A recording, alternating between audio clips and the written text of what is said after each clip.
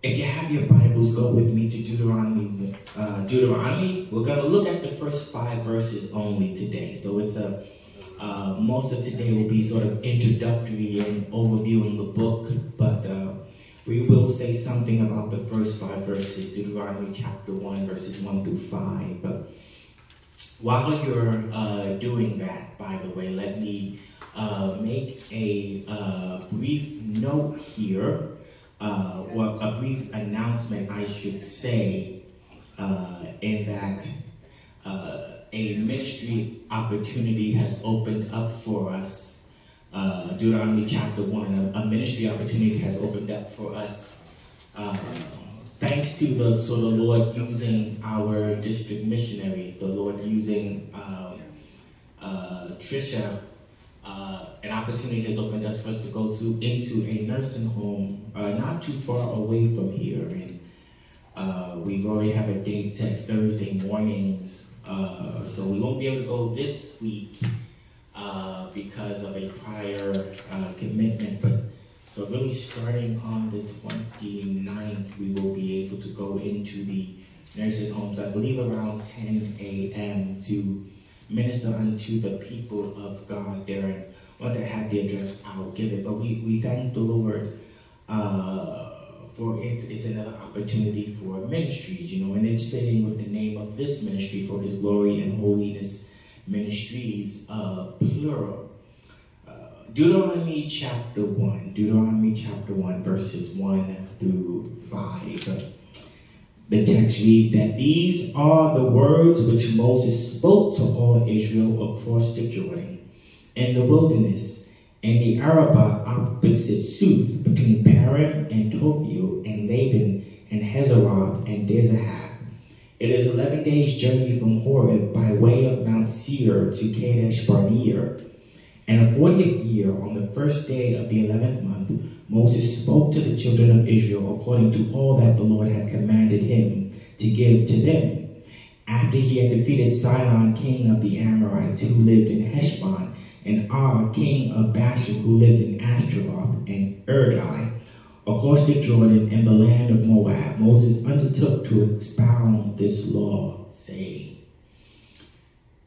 Deuteronomy chapter 1, verses 1 through 5 may be blessed by the hearing and reading of God's word on today. Our topic is this. As, as I said, it's, it's mainly introductory in nature, but our topic is this. Uh, God's law explained and applied an introduction to Deuteronomy. God's law explained and applied an introduction to Deuteronomy. Let us pray. Father, we thank you, O God, for your word. We thank you, God, for it is our spiritual food. It alone is the, the words of life by which men oh God, may know you, oh God, for this is eternal life, to know the one true God and the one whom you have sent. Father, again, as we dive into your word, oh God, and as we engage in another study of one of your uh, life-giving books, oh God, open our minds, oh God, to, to understand the scriptures, oh God, even as, oh God, uh, the Son did with the two apostles on the road to Emmaus, oh God. Uh, oh, yeah, God, let us indeed behold wonderful things from your law, oh God, and Oh God, let our hearts be changed by it, oh God. Uh, let the name of Jesus be lifted up high, oh God, in our eyes, exalted, oh God, above us, oh God. Uh, oh God, as we, oh God, see, oh God, even, oh God, in Deuteronomy, oh God, uh, how your gospel, oh God, is present. Father, oh God, yea, oh God, let your word go out with, oh God, on the unction of the Holy Ghost, oh God, let it fall on good soil, oh God, let it go forth freely and let there be great receptivity, oh God. Uh, Anoint these lips of clay, O God. I ask for thy strength, O God. Speak these words, O God, to this thy people, O God. Father, we thank you for who you are, for what you've done. We ask these mighty blessings. In the matchless and mighty name of Jesus, we pray. Amen.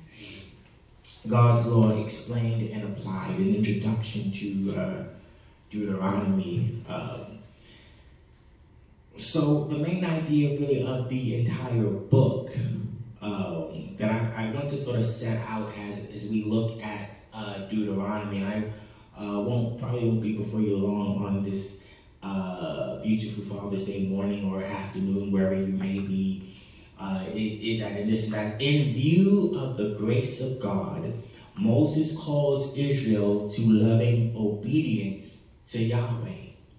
He does this by expounding on the law given at Sinai so that Israel may know the what and how of faithfulness to the Lord. Israel exists by the grace of God and will be restored due to the same. Their lives should reflect this reality.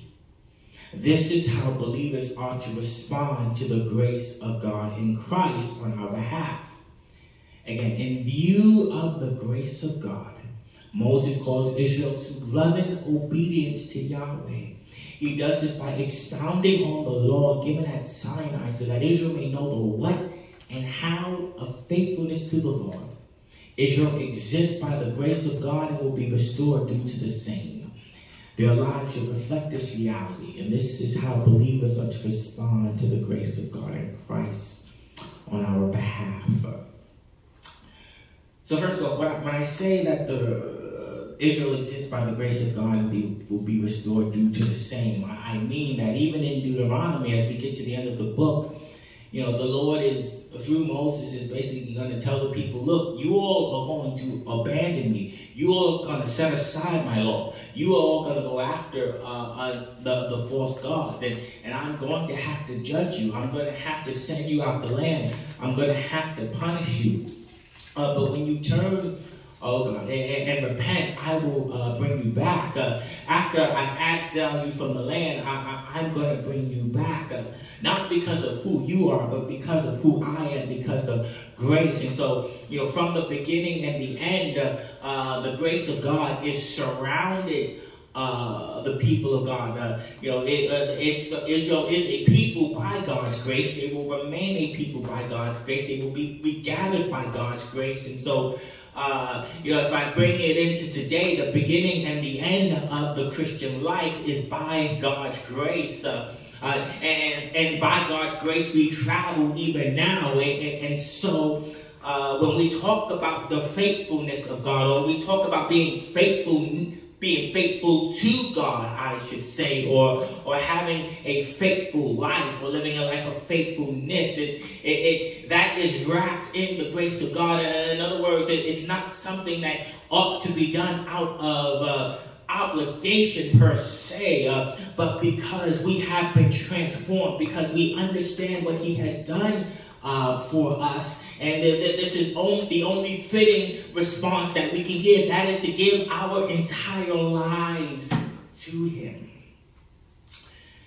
Now let's talk a little bit about uh, Moses. As I've done with in book introductions in the past, I, I, I gave a, a, printout because I'm going to throw a lot to, out there today. But this is it's, under, it's important in understanding and walking through the book of uh, Deuteronomy. And so uh, when we look at the who, I, I sort of with this who, what, when, where, why, and, and, and how. Uh, uh, who is the Deuteronomy is the fifth and final uh, book of Moses. Um, uh, as, as it's listed there in, in the printout. And as it says, this was the consensus view of both Jewish, uh, uh, of both Jews and Christians for centuries. Up for the first 1800 years of uh, uh, the Christian uh, faith, or the, the first 1800 years after Christ rose, this was the, the understanding. It only began to be challenged around 200 years ago.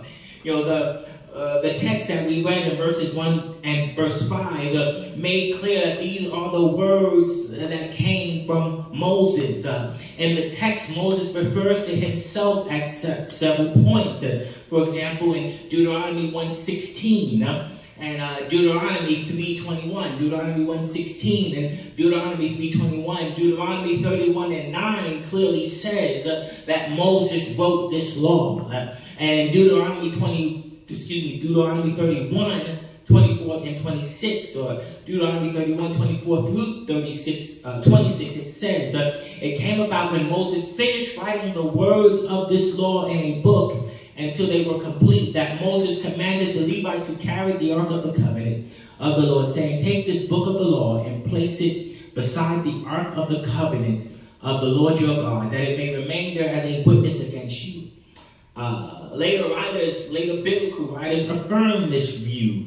Uh, for example, in 2 Kings 14 and 6, but the sons of the slayers he did not put to death, according to what is written in the book of the law of Moses. As the Lord commanded, saying, The father shall not be put to death for the sons, nor the sons be put to death for the fathers, but each shall be put to death for his own sin. Our Lord and Savior, moving into the New Testament, uh, refers to Deuteronomy 24 1 as coming from Moses. Uh, uh, that's uh, when he was dealing with the issue of divorce. And, you know, when he was uh, expounding on the scriptures to the two disciples uh, uh, on the road to Emmaus in uh, Luke 24 through Luke 24, 27, it talks about it beginning with Moses, you know, he began to open their minds to the scriptures. That, that's what it talks about in that text. And, and, so we, we have this witness both of the writer of the book and of the writers that come later and of our Lord himself that Moses is the one who wrote uh, this book. The, the next sentence I'm going to skip over because it really applies to what I'm going to deal with later. Uh, uh, so that is the who. The, the next question is the what. You know, the Deuteronomy is an interesting name. You know, where, where is that name sort of come from? Well, it, it comes from actually a, uh, an ancient translation of the Old Testament called the, the Septuagint. And uh, in Deuteronomy 17, 8, it, it says in, you know, our Bibles now, shall come to pass that he sits on the throne of his kingdom. This is talking about when Israel will have a king. He shall write for himself a copy of this law on a scroll in the presence of the Levitical priests. And, uh, you know, in the phrase, a copy of this law was rendered in this ancient translation as a there's this repetition of the law. It was treated, in, in other words, uh, as a, a, quote unquote second law. And uh, but now we, we understand that Deuteronomy is not a second law. It's not something that the Lord gave uh, that is separate and distinct uh, uh, from the uh, law that He gave at Sinai. Rather, it is both a restated and it contains uh, both restated and re reformulated material from Exodus through Numbers and new material not found in any of these books. And so uh, that's what Deuteronomy is. Uh, it is taking what has already been given it and put it, putting it back in front of the people and explaining it and expounding upon it uh, uh, for them. Uh, uh, the Hebrew title of the book is interestingly enough saying these are the words, or more simply words. That's sort of the convention uh, or the Jewish convention that the, the first sort of sentence or the first couple of words in a book become the name of the book. when was Deuteronomy written? Well, Deuteronomy 1 and 3 says, In the 40th year, on the first day of the 11th month, Moses spoke to the children of Israel according to all that the Lord had commanded him. The setting then is 40 years after they came out of Egypt. Uh, if we take an early date from the Exodus, uh, which would be the uh, around somewhere around the 1440s, then uh, Moses would have wrote this book uh, around the 1400s, as you can see there in the in your notes. Now, uh, since you all have the uh printout, and again, for those of you online who don't, uh, I, will put it up there, but let me say this. Those who reject uh, this, uh, that Moses wrote it, they, they go so far as to say that it was written in the time of Josiah, that, you know, the king who sought to bring religious reform to Israel. What I was going to say is I'll put this all online, and I'm not going to go through all of the points, but uh, they, they date the book to around the 7th century BC or the 600s, and so they're basically saying that this book was not written by Moses, even though it claims to be. It was written some 800 years later. Of course, there are several problems with this, and I want to point out a few here. Most importantly is that if Deuteronomy were written during the time that they say it's it's uh, for religious reform, it's deficient because it doesn't mention anything about Judea, uh, kings or your Jerusalem temple. Uh, in fact, it's one reference to a king isn't a ringing endorsement of any kind. And, and plus, we have the fact that Yahweh specifically says, uh, the Lord specifically talks about uh, uh, the place where I will cause my name to dwell or, or choose to have my name uh, dwell. That doesn't make sense. Uh, uh, the, these absences are inexcusable. That language can't be explained if Deuteronomy was not written uh, by Moses, if it was written at a later time. Deuteronomy constantly refers to uh, or speaks of a united Israel. Moses says all Israel here. That's usually a reference to all Israel. You know, there, there's no reference to another, a northern or a southern kingdom. Uh, Deuteronomy warns against the dangers of Canaanite religion and speaks of God you have not known. This only makes sense if the book was written before Israel was in the land uh, with its uh, peoples. Uh, there's more that could be offered, but the point is, you know, we, we have every reason to believe it's not a fundamental belief, it's a, a rational, reasonable belief that this book was written by Moses. Yes, we we understand that there have been some changes. Moses probably didn't write the account of his own death. Somebody put that in after the fact. And, you know, we understand that there may have been changes to the text in terms of place names and whatnot, but what we have substantively, we can say came from Moses. Where, where was this written? Well, uh, the text tells us that they're not yet in the land of Canaan, and it talks about what Israel must do and must not do when they enter the land. And, and so it's fair to say that they're still east of the Jordan River. They have not crossed over yet. And why? Why and how? These are the most important uh, sections of the book, and they'll lead us right into the actual verses that we're going to expound upon.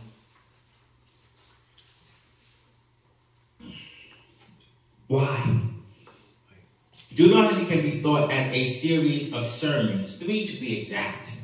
Uh, so chapters one through four, roughly, uh, the the end of chapter four, going all the way to uh, chapter twenty six, and then uh, roughly twenty seven through uh, really uh, twenty seven, really all the way up to, to thirty three uh, given by Moses, but these are a series of sermons. These are these are long sermons.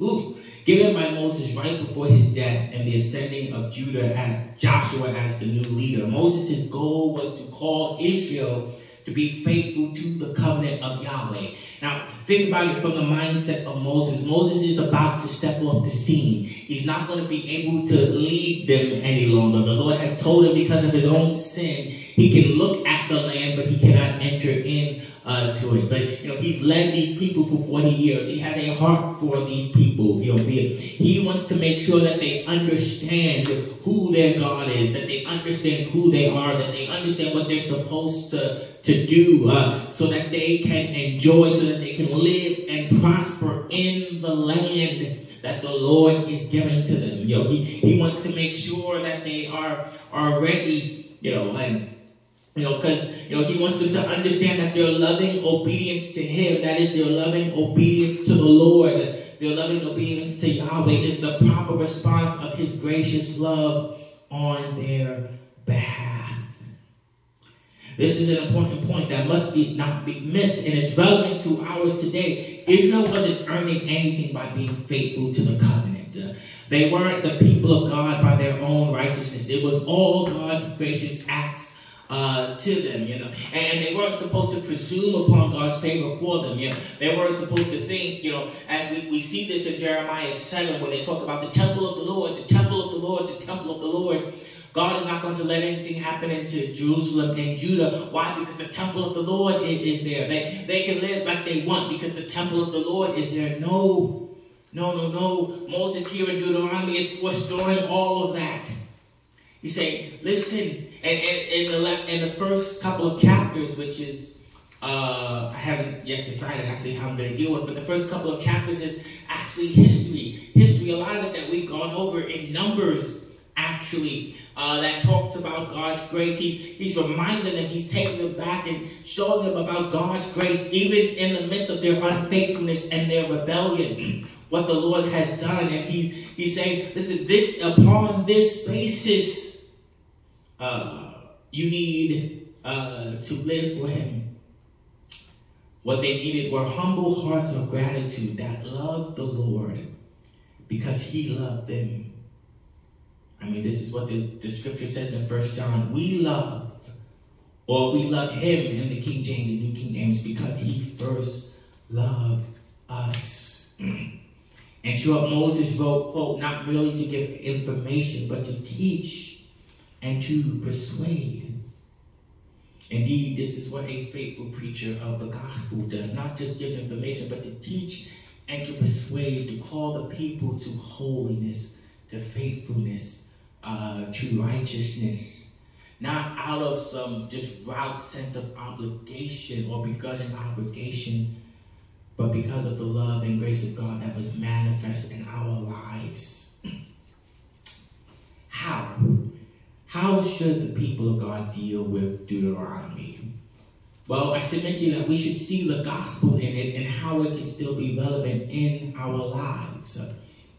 One Old Testament scholar, he wrote uh, these words, and rather than trying to paraphrase it, I just said I'm going to use them because they they they fit well. He says that few books in the Old Test in the older New Testament proclaim such a relevant word of grace and gospel to the church today. He goes on to say, for many Christians, the Old Testament in general and Deuteronomy in particular is a dead book. Consequently, the favorite book of Jesus is ignored. The source of much Johannine and Pauline theology is discarded. And the life-giving power of the Word of God is cut off. Unless we rediscover this book, we will not treasure the Old Testament as a whole. This book presents the gospel according to Moses this is a gospel of divine grace lavished on undeserving human beings. Moses' vision for his own people serves as a microcosm for the divine vision of humanity as a whole. The book points the reader to the Lord God who has redeemed his people and assigned them the mission of radiating his grace to the world, end quote. Indeed, and all the way back in Exodus, the Lord talked about Israel being a kingdom of priests and a holy nation. As we're going to see in Deuteronomy, their faithfulness to the law was supposed to prompt all the other nations to look and, and wonder at their laws, and by extension, wondering at their God and give praise to his name. Uh, and indeed, that's what the, the Lord told Moses to say to Pharaoh back in Exodus 19. For this reason, I have raised you up to, uh, to proclaim my name in the earth, to show forth my mighty power and this is indeed the goal, the mission of the church today to proclaim God in Christ, uh, to preach Jesus Christ in Him crucified, the one who is in the image of the invisible God, who's the exact representation of His nature. Uh, the one who, you know, being in the form of God, thought it not robbery, you know, to be equal with God, you know, as the good old King James uh, says. Jumping into the text, jumping into the text, we Moses tells us, Moses Moses expounds on the law. So he says, uh, again, it tells us in the first four verses, you know, you know, these words were spoken by Moses to all Israel, but they find their origin in Yahweh. That's in verse 3. Moses spoke to the children of Israel uh, according to all that the Lord had commanded him to give to them. A couple of things I need to point out, even in these first couple of verses. The words came at the, at the end of their wanderings. The people of God were on the cusp of possessing the land after 40 years in the wilderness. They had significant victories on the east side of the Jordan, which they resided. Uh, as we saw in Numbers, the Lord delivered several kings into their hands. Still, uh, they were not finished. They were not in the land. And still, they were in the wilderness for 40 years. Notice how verse 2 says, after telling us all of this, it says, it was 11 days journey from Horeb by way, by the way of Mount Seir to Kadesh Barnea. And the 40th year, on the first day of the 11th month, Moses spoke to the children of Israel. So, he's pointing out that the actual journey should have only taken 11 days. Yet, he's speaking this on the 11th month, uh, on the in the 40th year on the first day of the 11th month. Okay, so uh, this is what we want to see as we're reading and studying the scriptures. How do we go from 11 days to uh, him speaking in the 40th year on the first day of the 11th month? If it's an 11 days journey, why is it that they were in the wilderness for so long? Uh, and of course, we know this because we have walked through Numbers. And but here again, Moses, right at the beginning of his exposition of the law of God, his explaining the law that has been given, uh, he's pointing out the seriousness of sin. He's he's telling them right up front. This journey should have only been 11 days, uh, but it took so much longer. And as he's going to unpack in the next verses that you know, we'll, we'll, we'll see next week. It took so much longer because of disobedience. It took so much longer uh, because of rebellion. It's no small thing uh, to disobey a holy God. It, it's particularly egregious for the people of God who know the truth. It is a serious matter when you know what to do, when you know the right thing to do, uh, and you do not do it. Uh, in the specific case here, Israel had experienced the power of God on their behalf uh, and his loving care for them. Yet he, they did not trust him. Sorry, there's a typo here. They did not trust him and they paid the price by never entering the land. The point here that we can see right at the beginning is clear. The price of sin is high. It is so high that none can really afford to pay it. In fact, none can afford to pay it at all you know, whatever temporary benefits that we think that we're getting from not following God, we will pay for it in the end. The generation that came out of Egypt did not enter in, their children and their grandchildren did. Uh, they lost out on receiving that was, was promised to Abraham, Isaac, and Jacob because they refused to take heed to the word of, of God. Moses is putting that right there at the beginning understand what happened here, understand what is at stake, understand why the alternative to faithfulness is no real alternative. Uh, at all, understand. Moses is going to talk about later in the books. But I set before you life and death. Choose life. Moses, right at the beginning, is setting forth the need to choose life. Let us take heed to this. Sin cannot be taken lightly. The sinless Son of God had to come and die on a cross for it so that we could be reconciled to a holy God. We dare not take it lightly. Verse 5 says that, uh, that across the Jordan and the land of Moab, Moses undertook to expound this law what do we mean by that? I said above that Deuteronomy was written to call all Israel to faithfulness to Yahweh. What does it mean to be faithful?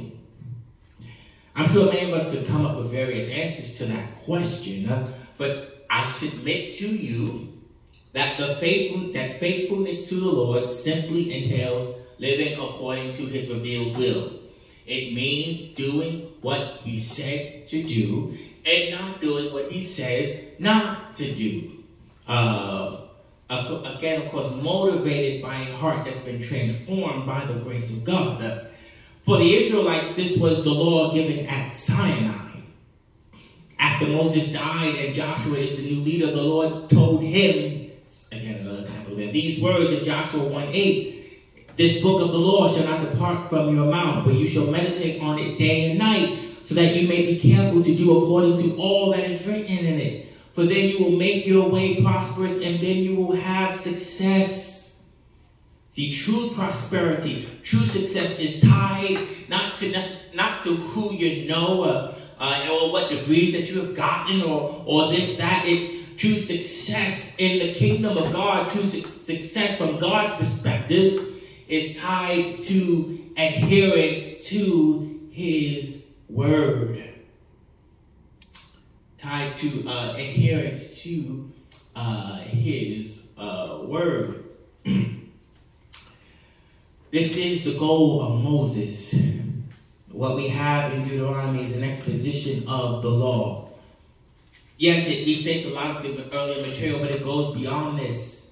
uh, it adds new material, but what's really going on here is that Moses is uh, the, taking the law and he's explaining it and he's applying it to their particular situation. You know, to them right about to enter the promised land. Uh, you know, it had to be expounded and emphasized. It, he had to make it sort of relevant for them. You know, in order for them to be successful uh, going forward, they needed to have an unbroken covenant relationship with the Lord. Uh, bringing this in, I told you I wouldn't be before you longer. We have not moved beyond our need to hear the law, the law of God, or for that matter, the gospel of Christ Jesus. We still need to hear the word of God. You see, it's only by knowing the holy requirements of a holy God that we can see and understand our need for the gospel of Jesus Christ. It is by keeping the truth of the gospel ever before us that we can appreciate the grace of God and govern ourselves accordingly. Moses sought to take God's law and make it relevant for the people in their circumstance. And again, every faithful preacher of God's word today is called to do the same. Uh, now, while the Lord does it and never did save, it does reveal, reveal to us the nature of our God. And as it says, you have there 2 Timothy 3, 16 and 17, says that all scripture is inspired by God and profitable for teaching, for reproof, for correction, for training in righteousness, so that the man of God may be adequate, equipped for every good work. We can benefit from studying Deuteronomy as we have from the prior four books, and we will with the rest of the New Testament. That's why I wanted to read a Psalm 19, because the, the psalm writer uh, understood that the you know the law of God is nothing uh, that is oppressive, it is not burdensome. It, it says the law of the Lord is perfect, restoring the soul. Psalm 19:7. The testimony of the Lord is sure, making wise the simple. The precepts of the Lord are right, rejoicing the heart. The commandment of the Lord is pure, enlightening the eyes. The fear of the Lord is clean, enduring forever. The judgments of the Lord are true. They are righteous altogether. They are more desirable than gold, yea, than much fine gold, sweeter also than honey and the drippings of the honeycomb. Moreover, by them your servant is more, and in keeping them there is great reward. We need the word of God. We, we need it applied to our lives. We need it kept ever before us. For that is how we can be fed. That is how we can grow. That is how we can remain faithful. That was Moses' goal with Deuteronomy.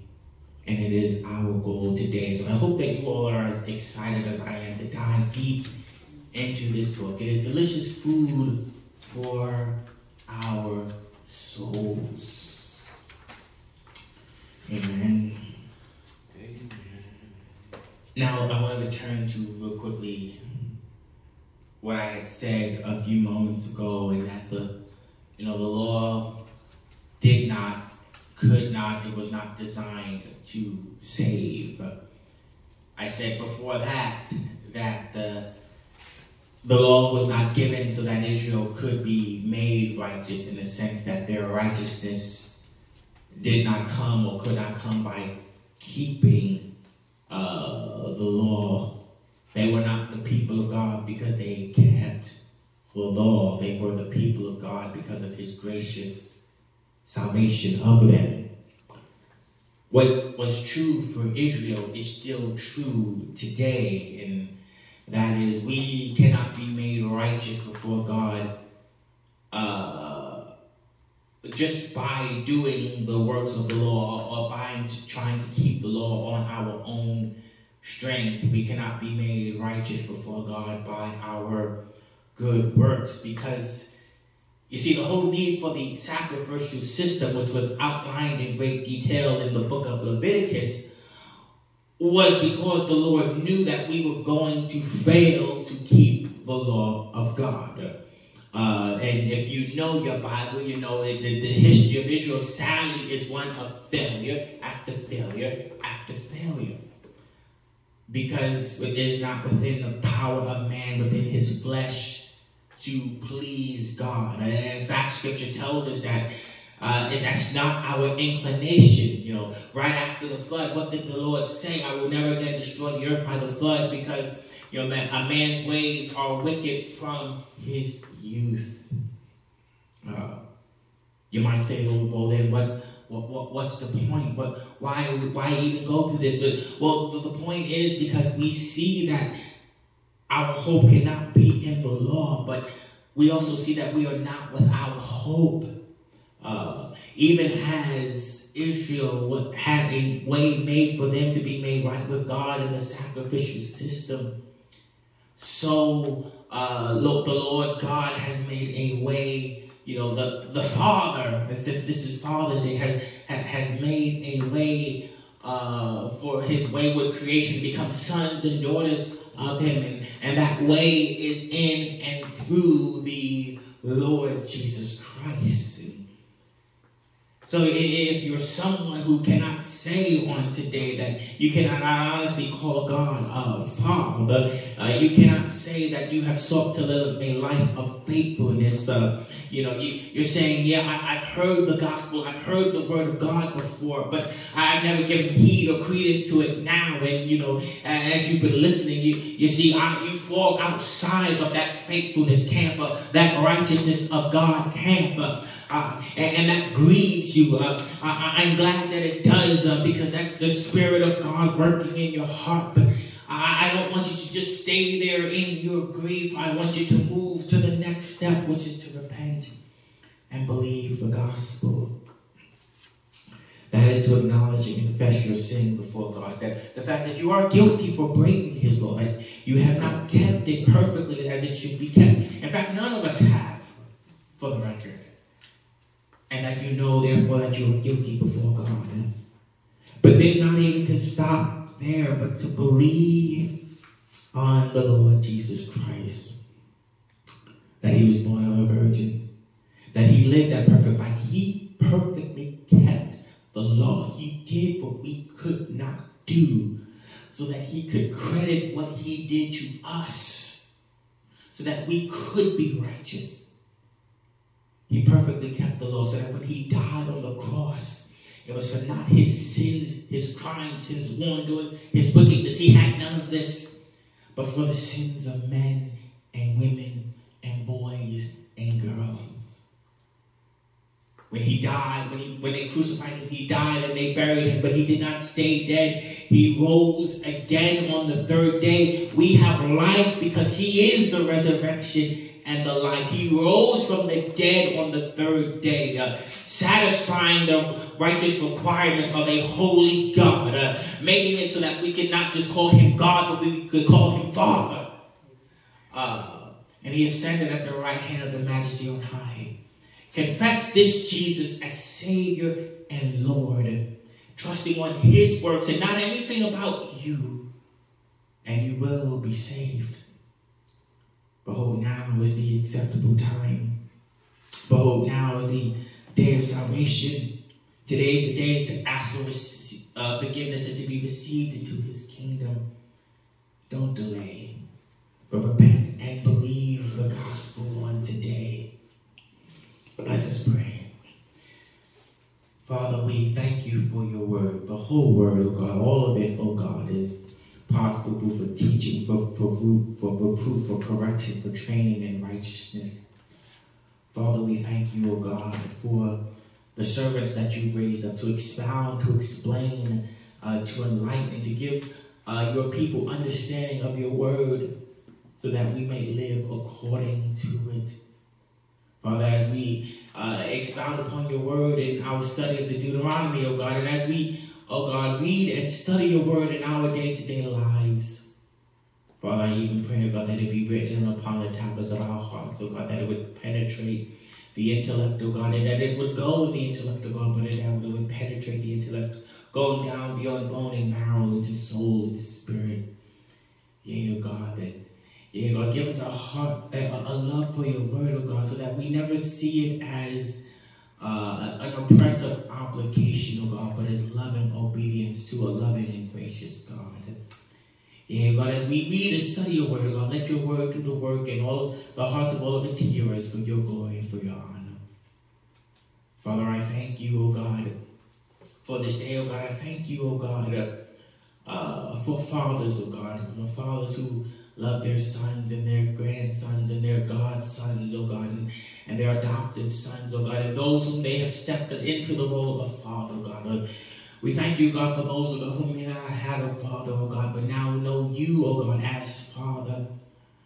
Father, I pray, God, that you would, oh God, touch every father under the sound of my voice, oh God, specifically, oh God, that you will draw them nigh unto you, oh God, that they will look to their father, uh, even as they seek to be a uh, good Father, oh God. And, oh God, I pray for every under the my voice, God, that you keep us from hurt, harm, and danger, oh God, throughout this week, that you go with us and before us, oh God, that keep us round about on every side. Uh, Father, I pray for safe traveling mercies over the highways and byways, so all those have to travel, God, that uh, you bring us to homes, oh God, or other destinations quickly and safely, oh God, and bring us back at the next appointed time. Father, we thank you. We ask these mighty blessings. In the matchless and mighty name of Jesus, we pray. Amen. Amen. May the Lord bless you and keep you. May he make his face to shine upon you and be gracious to you. May he lift up the light of his countenance upon you. And may he give you peace. Amen.